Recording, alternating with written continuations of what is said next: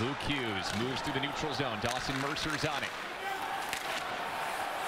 Mercer and McLeod with assists on the Timo Meier goal back in the first period. Meier to the front, score! Michael McLeod taps it in. This line comes through again. Tie game. Well, that's what we talked about.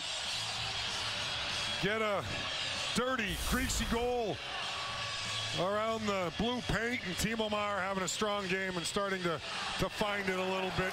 His confidence again.